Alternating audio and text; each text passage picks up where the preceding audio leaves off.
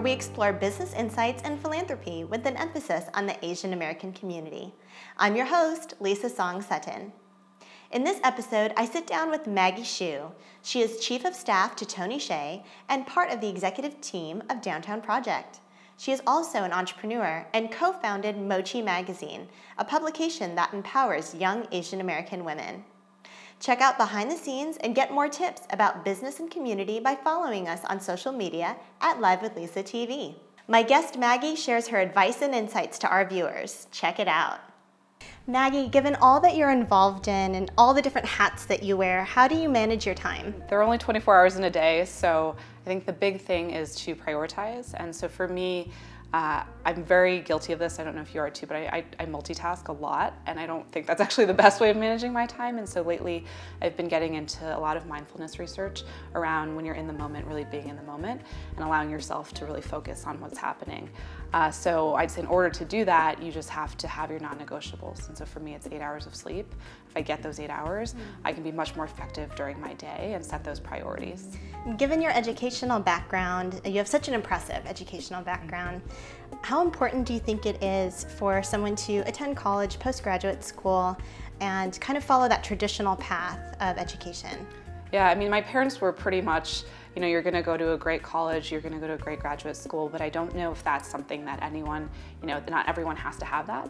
And what's really important, for example, if you want to be an entrepreneur, it's almost more impactful from a learning perspective to go start a business and really test it out for yourself. Um, I do think what was great about business school was that you get to go inside all these different real life examples of what other business leaders faced. And so by the end of the two years, you've dealt with over, you know, several hundred cases of this is what the situation was. How would I have approached it? And you heard from all your classmates about how they would have approached it. So I thought that was really fascinating. And it's a great network, a great time.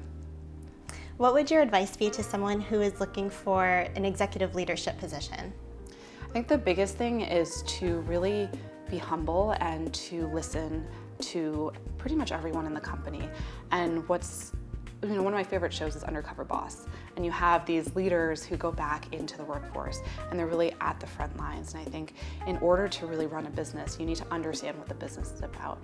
And so being in Las Vegas and, and you know, being very close with the hospitality world, the idea of knowing what a front desk agent does and knowing what the concierge does and really living that yourself, retail is very similar before you can then manage other folks. And you're also an entrepreneur, having created Mochi Magazine. What was the inspiration behind that? Yeah, so Mochi, um, back in high school, so back in 2004, my friend and I were getting ready for our senior prom, and at the time, we were looking through our Teen Vogues and our Cosmo Girls and our 17s, but there really wasn't any Asian representation, not just in the editorial side, but really even in the advertisements. So you didn't really see a lot of Asians, and that's definitely changed now. Um, but I remember we were saying, wouldn't it be amazing if there were a magazine that really catered to the young Asian American women and empowered them and, and really taught them how to make an impact in all sorts of aspects of life, and they didn't have to go into certain industries. So that was really the motivation behind Mochi. And the idea was it's a community of Asian American females supporting each other. And I think that's really important um, for us to support each other and help each other get ahead. So with Mochi, did you self-fund or did you bring in investors to start the magazine? So we actually self-funded and what's great is it really allowed us to be scrappy and so um, one of the, so our first cover star was actually Brenda Song and wow, at the time, yeah, yeah, so Sweet Life of Zach and Cody, yeah, mm -hmm. uh, the social network, and we reached out to her with no expectation. That was kind of our dream cover star, and she immediately said yes. And so for us, that was validation of the proof of concept, right? So this was a mm-hmm. something that the community really wanted. And so Brenda's people said, great, when's the photo shoot? And we kind of looked at each other and said, oh no, we have to figure out how to put together a photo shoot. And I right. think if we had had a lot of funding, we would have hired a great photographer and whatnot. Sure. But instead, we had to go out to all these photographers who we knew and we said, this is our mission. This is why it's so important. Mm-hmm. Would you help us? And so we got makeup artists to come for free. We got stylists. We had, you know, clothing donated. And I think that ethos has carried on. And so when, when the gals at Mochi, and it's all volunteer, uh, all nonprofit, when they come with an idea, instead of saying, you know, here you go, here's the funding, it's how can we do that in a scrappier way? And I think that's really been a great ethos of the magazine. Would you recommend self-funding or bringing in investors for a magazine endeavor? Yeah, I think the magazine business has definitely changed where you know, before a lot of the print magazines have had to fold because they haven't gotten enough advertising or subscriptions.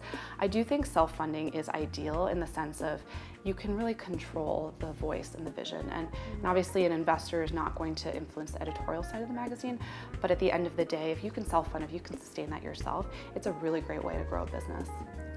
And who are your personal mentors? There's so many, and I think what's amazing just being in, in, the community here. Everyone's really willing to help out. Um, a mentor who's been just amazing uh, to work with with me is one of the former general counsels of Zappos, and so she's an Asian American woman as well, and you know, married, has has a son, and has really found this amazing way of balancing this really successful professional career with spending a lot of time with her family, and I think that's been a great source of inspiration for me. So what is the one thing that all young entrepreneurs should be doing right now? I think there's a perception if you have a great idea, you want to keep it close to, you know, close to you and, and make ask people to sign NDAs. And what I found is that the more you share your idea with people out there and the more you talk about it and, and really get people excited about it, the more energy and, and the more, you know, traction it gets versus saying this is my idea and I'm not going to tell you about it. And so my big piece of advice would be to really be open and collaborative and talk about that idea and get actual feedback from potential customers because you'll need to refine it, right? It's your idea, but it's really the customers that'll help it grow. Thank you, Maggie. Yeah.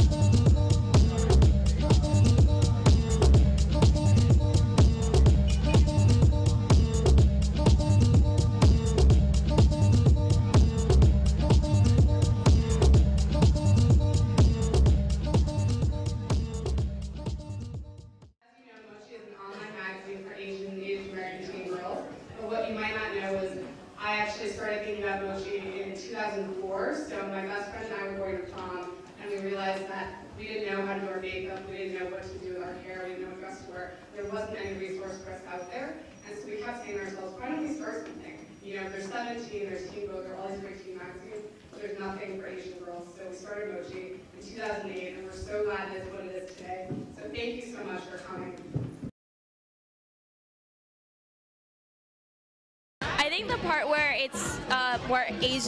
interest. You don't see many Asian people in magazines, especially in like mainstream magazines like uh, Glamour, Cosmo, or 17 or anything like that. Um, well, I really love the fashion and the blogging from other teens just like me. I mean, I mean, it's really cool to see like insight from other teens and what they think. The definitely fashion interests me because I want to be a fashion stylist and I go to FIT, so naturally fashion would interest me. Oh, I think the whole um, part about how it influences teenagers and Asian teenagers because there's no like magazine out there in the publication business that's directed toward Asian American teenagers. Absolutely. I grew up in New Hampshire, which isn't exactly um, have a large Asian community, so definitely it would have helped me build confidence in, you know, makeup and dress um, when I was growing up. Well, all throughout childhood, I've never really experienced anything Asian American until now. So for this whole company to be growing like this, it's gonna be uh, it's gonna be a new generation of like new people coming out, and it's gonna be amazing actually think so. I think it's good to be reminded of where Asian Americans are in the industry, whether in media or in politics or sort of how they're making a difference so that you can also think that you're making a difference in some way and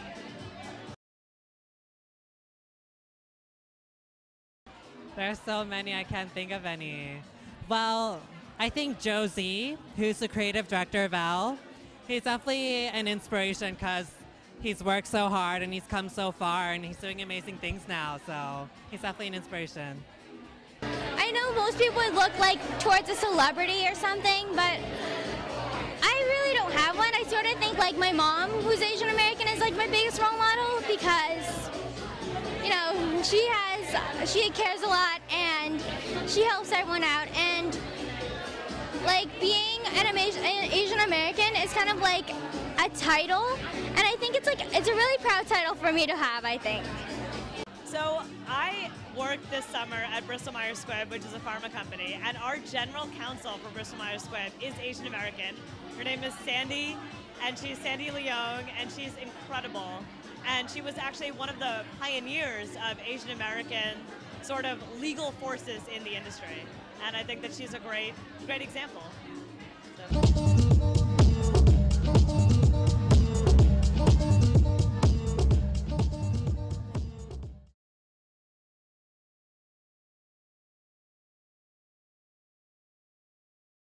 Thank you, Maggie, for your great insights and business tips. Maggie is also very involved in the community, and we had the pleasure of serving as judges together for the Miss Asian Las Vegas pageant.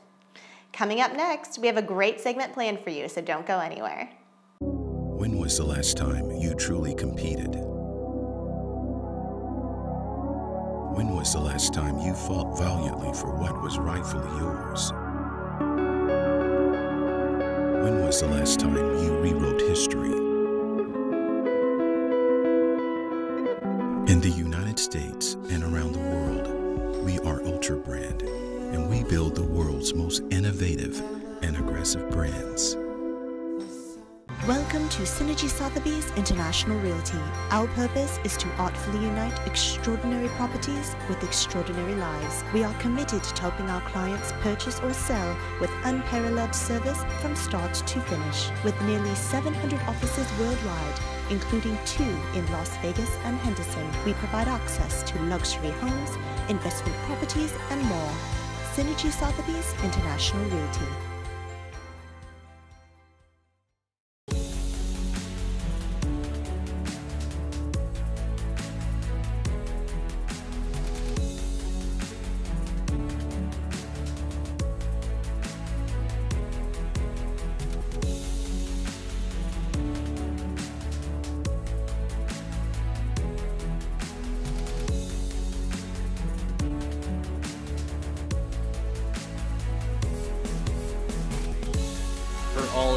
Production needs, contact us at mohicanmedia.com. To learn more business tips and see behind the scenes photos, find our social media at Live with Lisa TV. Stay tuned for our upcoming segment.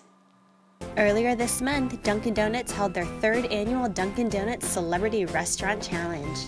They asked local celebrities, dignitaries, and media personalities to serve as employees at a designated Dunkin' Donuts location to raise funds and awareness for Nevada Childhood Cancer Foundation's Camp Cartwheel.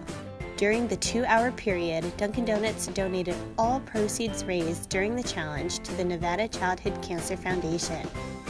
Dunkin' Donuts utilized its 15 locations in Las Vegas, North Las Vegas, and Henderson to participate for this great cause. To find out more information about Camp Cartwheel and the Nevada Childhood Cancer Foundation, head over to nvccf.org.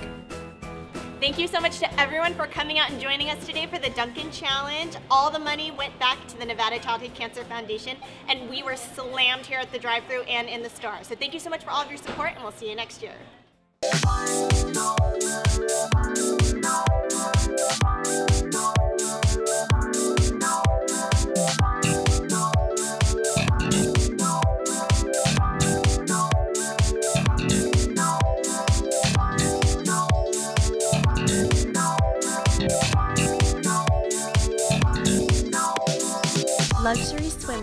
The resort lifestyle.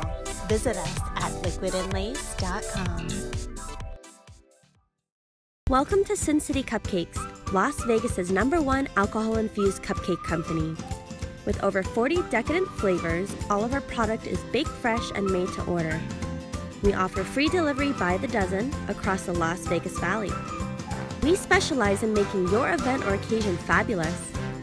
Call us at 702 776 0955 or place your order online today at sincitycupcakes.com. Welcome to brandbridge.org. We connect quality brands with passionate influencers. Brands who want to grow need to be talked about, and it isn't enough to just have a company social media account. BrandBridge is a community with a vast network of influencers that can help your brand connect with millions of new customers in a meaningful way. You need trusted, curated influencers on your side that you can grow a true partnership with over time. We deliver substantial increases in engagement and awareness, along with rich analytics to track your social growth. Visit our website at brandbridge.org and download our app today. Stay tuned for our business segment brought to you by Sam Dever and the Social Media Show.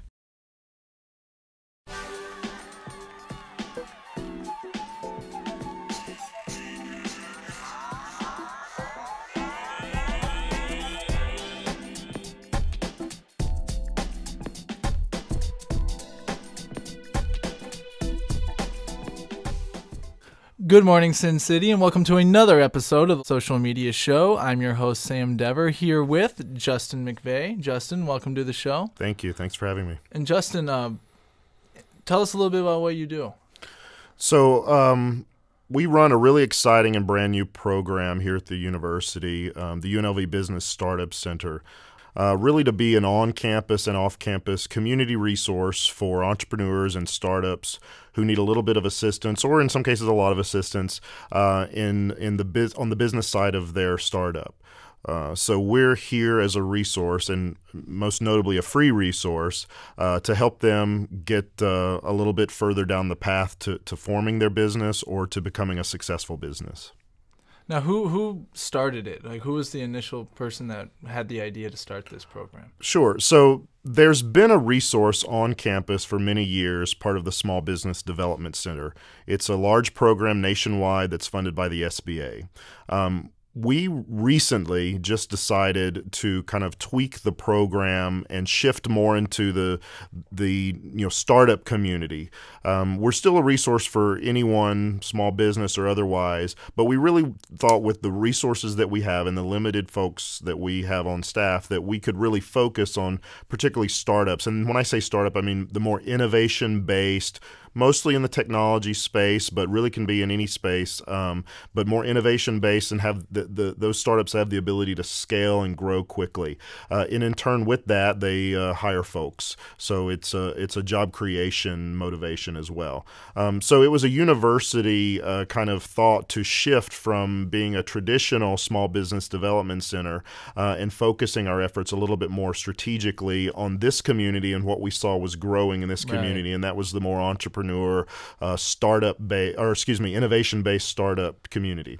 And, and, you mentioned that, and it seems that's the first thought that goes in my head. What you guys are doing seems to go with what's going on in the the entrepreneurship here in the city with downtown. And I actually met you at the Innovation Center. Yes. At Startup Weekend, yep. so it definitely you guys are catering to what's going around here in yeah, community. we at, you know the university is both geographically and, and in our center's perspective, um, kind of philosophically, right in the middle of the city between those two worlds that you just mentioned the the the, the thriving downtown entrepreneur and, and startup community, and then those that are growing in the innovation center right. over in the southwest. So we're centrally located between those two, and we think kind of philosophically we're able to bridge the gap between those two as well. Um, I, you know, we don't have coders. We're not writing apps. We're not writing uh, writing technology. What we're there to do is to assist those that uh, typically know the technology that they're working in, uh, but may not um, fully understand or uh, or be able to build the business side of it. Uh, and we're there to both, you know, kind of educate them on what the needs of that are, and and hopefully get them a little bit longer down the path, uh, further down the path. Excuse me. So, like I said, we're um, we're a free resource. Um, so we feel like that in of itself is a capability because it will allow the startups to not spend money on consultants that maybe would be doing the same thing that we do. Uh, so that in turn gives them a little bit longer runway. Uh, if they don't have to spend three, five, ten thousand dollars on someone to help them put together a strategic plan or help them forecast financials, uh, something like that, then that three, five, or ten thousand dollars is going to be uh, much more useful for them when they're actually developing their technology, doing market research, or trying to uh, uh, trying to get their brand recognized out in the community. So that's where we think that those resources that would typically be spent on a service like ours uh, can be better spent on actually growing their business. Okay, and no, and that's a you hit it on the head. That's a fun, phenomenal resource for anyone, especially when you're getting started. Yeah, absolutely. You know, instead of spending what you just said with a consultant or whatever, you can use that more toward marketing or whatever it may, getting your business actually set up as an entity. Yeah. Um, but you guys are there for free. Yeah, absolutely. And, and we tell you know people that our kind of sweet spot is from napkin to execution. I love that. You know, yeah. so if you literally just have an idea, maybe you've participated in a startup weekend and it's uh, it's Monday, um, come see us. You know, because we we are both an on-campus and an off-campus resource uh, for entrepreneurs and startups who have a really great idea uh, and really want to know where they can go from from there. Um, we also, you know, are doing. Will we start doing a lot of outreach to the um, undergraduate and graduate community on campus? Um, there really, other than the SBDC, which is our predecessor, there has never really been a resource uh, for applying the knowledge that students are learning on campus and applying that into creating a, a company, really building the blocks for uh, for a for a startup, and that could be anything from how to get a business license all the way through, like I mentioned before, market research or whatnot. So uh, the fact that we're on campus and that's where we're headquarters, we're going to be doing a lot of outreach to students to let them know that we are here, that we're here to help, and hopefully that will grow the kind of entrepreneur spirit, that will grow the the, the startups that are coming out of the, the campus as well uh, by by us, you know giving them a leg up and, and um, not having to spend money where it's um, probably unnecessary where we can help. Uh, anything like that that we think we can we can be a resource, we, we want to be. Um, so you know, my kind of drumbeat is you know, come see us because we're here for free and we we think we can help. And that leads me into my next question. If I am a student here at UNLV and I want to get, and I think you pretty much just hit it on the head, but if a student wants to get involved in what you guys are doing to help some of these businesses you guys are helping, because I know with talks with you in the past, if this program would have been at my college, I would have been sign me up. Right. you know, because you get to that junior senior year, you know, you're not really thinking. You get to that last semester senior year, oh crap, I got to go start applying for jobs. Right. Or, you know, it's reality starts hitting in where you know these students can have a chance to get involved in some of these startups and become on the ground floor with them. Yeah, absolutely. So if if they want to get involved with what you guys do, what's the best way for the, a student here at UNLV to reach you guys? Sure. Well, there, there's a couple of ways to get involved. Uh, one, certainly by, uh, like you just mentioned, uh, being involved with our center. Uh, we, are looking for interns. We, we need volunteers to help work with the startup uh, community, but also if you have a startup and, and, you want to actually get our assistance. Both of those ways, you know, we'll take interest from both sides of that. Um, and really just come find us. We, you can find us at at, uh, at UNLV Startup on Twitter. Uh, we we just got our space, our kind of uh, uh space that we're going to be uh, using on campus, and we're right on the first floor of the Student Union now, nice. um, nice. right by the food court. Um, so come in, check us out there, and, and you can also find us online at at uh, unlv.edu/startup. Um, those you know really come walk in, check us out, and and let us know that you're interested, or maybe that you need some assistance, and, and we're here uh, to help.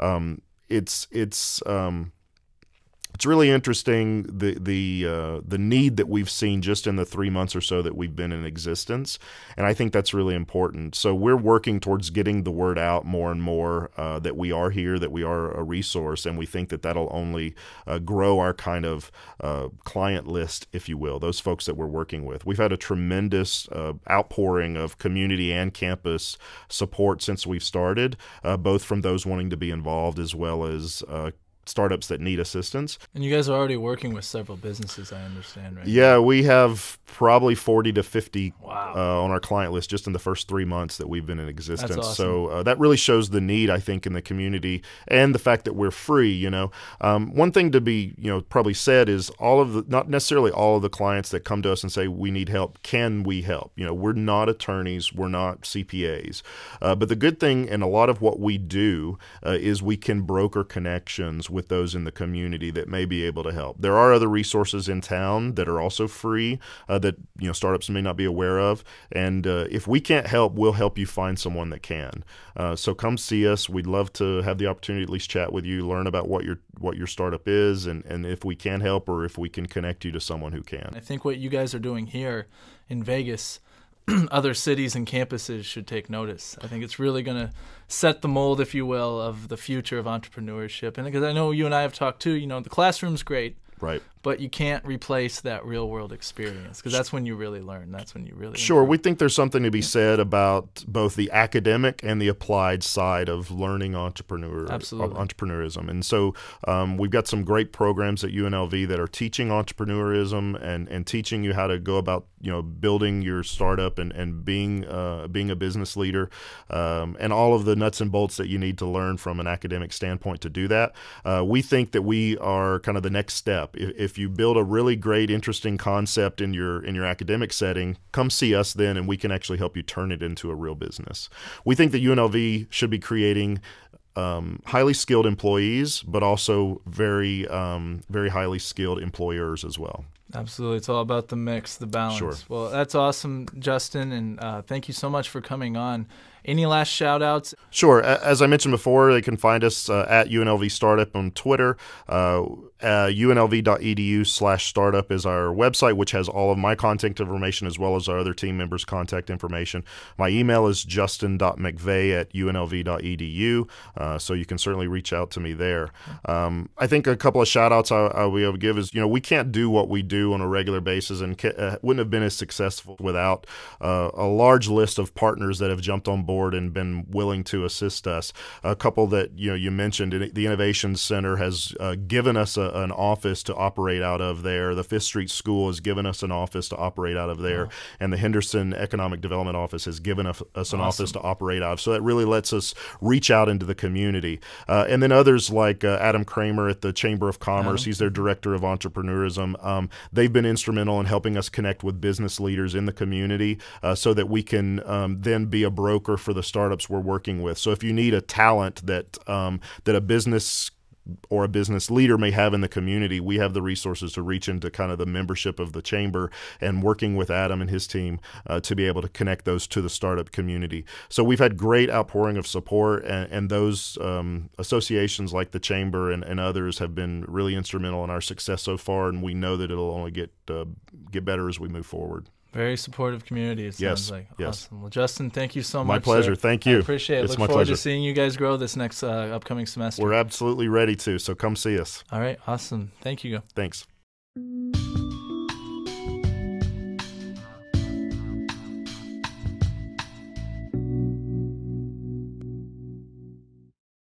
Thank you to all my guests who joined me this week. If you have questions relating to business or entrepreneurship, submit them via social media at Live with Lisa TV or through our website at livewithlisa.tv, and I'll answer them right here on the show. I will leave you with a quote from Yoshikazu Tanaka, founder of Gree. The number one piece of advice I can give is for you to just start it. Have a positive week. Oh, yeah, good job, bro. You're kind of drooling on the side there too, man.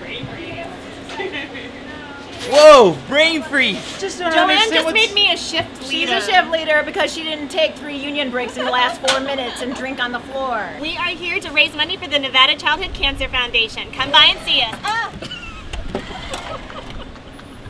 We're making the Popo Special Donut. P. D. and it don't stand for P. Diddy.